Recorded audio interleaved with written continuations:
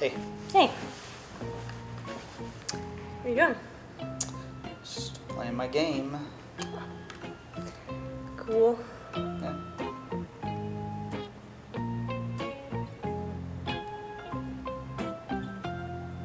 Oh my gosh. Trevor, Mhm. can you believe that it has been nine years since we've been married? Can't can't believe it. It doesn't feel like nine years. Does it feel like nine years? What if next year for our 10th anniversary we renewed our wedding vows? Ah, I just died. Renew our wedding vows? What would you say? I don't know, I just thought of it. Like maybe we just say the same things we said when we got married. I don't know. What would you say?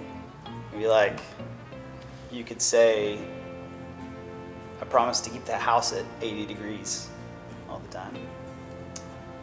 Oh, okay. Well, maybe yours would be I promise to always leave dirty dishes in the sink.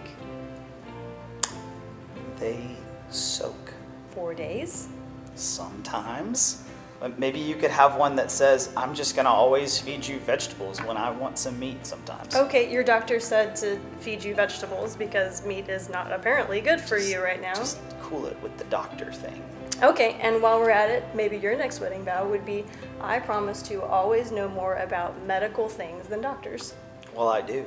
Okay.